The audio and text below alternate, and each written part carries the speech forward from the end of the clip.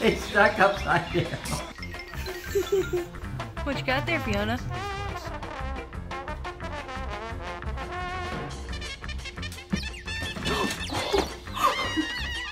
what did you do?